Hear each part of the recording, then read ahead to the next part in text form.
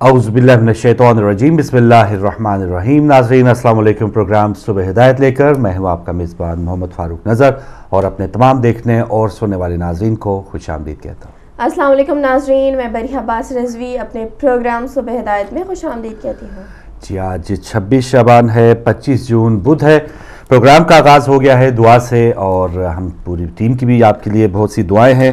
اس کے بعد جانیں گے سنہری بات اور ثواب کمائیے سیگمنٹ ہوگا، قصیدہ پیش کیا جائے گا، اوقات نماز ہے۔ چھوٹا عمل عظیم ثواب، خبریں، آج کا اخبار، تازہ تین خبریں بھی ہیں۔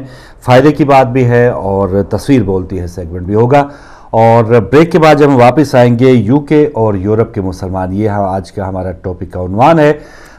عموماً جو ایک تصویر کشی کی جاتی ہے کہ یو کے اور یورپ، بلکہ سارے مسلمانوں پہ ایک ایسا، ایسی چھاپ لگانے کی کوشش کی جا رہی ہے کہ شاید سارے مسلمان ہی ٹیررسٹ ہیں اور مسلمانوں سے جتنی بھی اس قسم کی نیگٹیو خبریں ملتی ہیں، وہ زیادہ تر میڈیا میں بات کی جاتی ہے۔ لیکن حقیقت میں ایسے لوگوں کا اسلام سے کوئی تعلق نہیں ہے اور دہشت گرد چاہے کسی بھی مذہب کا ہو، وہ دہشت گرد ہے، وہ قاتل ہے۔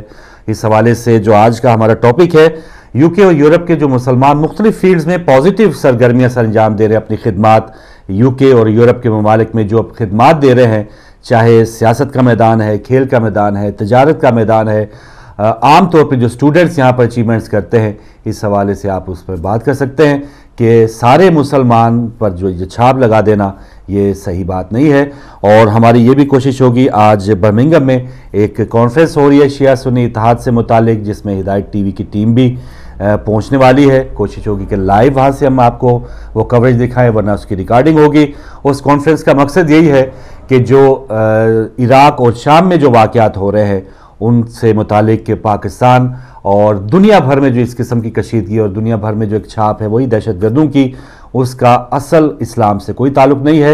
اور شیعہ سنی جو اس وقت گیپ بڑھانے کی کوشش کی جا رہی ہے اس کو ختم کرنے اور بھائی بھائی اور جو اتحاد کا پیغام ہے، وہی ایک اہم مقصد ہوگا۔ اس کانفرنس کا کوشش ہوگی لائیو دکھائیں، ورنہ آپ کے لیے ریکارڈنگ کے لیے ٹیم وہاں پر پہنچی ہوئی ہے۔ تو یہ آج کا پروگرام ہے۔ مجھے امید ہے ہمیشہ کی طرح آپ آئیں گے اور اپنے خیالات سے نوازیں گے۔ اور خاص طور پہ جو یو کے یورپ کے ہمارے دیگر شہروں کے رہنے والے ناظرین ہیں، آپ اپنے علاقائی طور پہ کوئی بھی ایسی اچیومنٹس بتا سکتے ہیں کہ جن کا سہرا مسلمانوں کے سر جاتا ہے۔ تو ضرور آئیے گا۔ بریک کے بعد اب جانتے ہیں آج کی سنہری بات۔ سنہری بات میں آپ کے ساتھ شیئر کروں گی مولا علی کا قول۔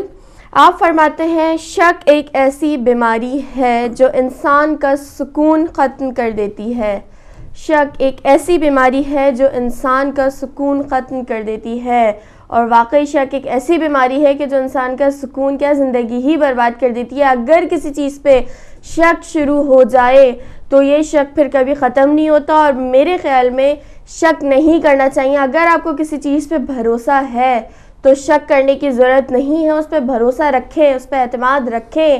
کہ اگر آپ بھروسہ رکھیں گے تو شک کی ضرورت ہی نہیں پڑے گی اور اگر آپ کو شک ہوگا تو اس کا مطلب وہاں پہ بھروسہ نہیں ہے۔ اس سنہری بات کو، اس اقوال کو میں جس نظر سے، جس جس کی طرف اشارہ کیا ہے، وہ خصوصاً جو میاں بیوی کے لڑائی جھگڑے ہوتے ہیں، شک کی وجہ سے اس پہ واضح کروں کہ دیکھیں، شک اگر کریں گے تو بھروسہ نہیں ہوگا۔ اگر آپ کو بھروسہ ہے تو شک نہیں کریں اس شک سے کتنی زندگیاں برباد ہوئی ہیں، کتنی لڑکیوں کی زندگیاں برباد ہوئی ہیں، کتنے لڑکوں کی زندگیاں برباد ہوئی ہیں کہ ذرا سا کچھ ہوتا نہیں ہے کہ شک شروع ہو جاتا ہے۔ دل میں شک آ جائے کہ تم نے فلانا سے بات کی ہے تو کیوں کی ہے، کس عجیب نظر سے دیکھنے لگتے ہیں، ان کو غلط نظروں سے دیکھتے ہیں۔ لڑکی نے بات کر لی، کسی سے تو پرابلم لڑکوں کو شروع ہو جاتی ہے۔ لڑکوں نے بات کر لی تو لڑکیوں کو پرابلم شروع ہو جاتی ہے۔ تو جو شک کی بیماری ہے، یہ انسان کا گھر بھی برباد کری انسان کا سکون برباد کری اور جب سکون برباد ہوتا ہے، تو انسان کی زندگی برباد ہو جاتی ہے۔ ایک دفعہ کسی کے دماغ میں شک آ جائے، تو ہر موڑ پہ اس کو یہ چیز کلک کرتی رہے گی کہ ہاں اس نے یہ کیا تھا ہاں اس نے یہ کیا تھا۔ تو شک کبھی اپنے دل میں پیدا نہیں کرنا چاہیں گے بھروسہ رکھیں ٹرسٹ رکھیں۔ اگر ٹرسٹ ہوگا آپ پہ تو شک کبھی پیدا نہیں ہو سکتا۔ ماشاء اللہ بہترین سنہری بات اور کوشش کریں گے کہ ایسا ایک وسیع ٹاپک ہے۔ کل اگر حالات ہمارے بالکل صحیح رہے تو اسی ٹاپک پر ہم بات بھی کریں گے۔ آگے بڑھتے ہیں جو ثواب کمائی سیگمنٹ ہے، اس میں نماز ٹائمنگ سب سے پہلے، زہرین کا وقت لندن میں ایک بج کر تین منٹ، مغربین نو بج کر سینتیس منٹ اور کل فجر کا وقت ہوگا دو بج کر تیئیس منٹ پر۔ آج زہرین کا وقت لندن میں ایک بج کر تین منٹ، مغربین نو بج کر سینتیس منٹ اور کل فجر کا وقت ہوگا انشاءاللہ دو بج کر تیئیس منٹ پر۔ اور اسی سیگمنٹ میں اب وقت ہوا جا رہا ہے قصیدہ سننے کا۔ قصیدہ سنتے ہیں اور پھر واپس آتے ہیں۔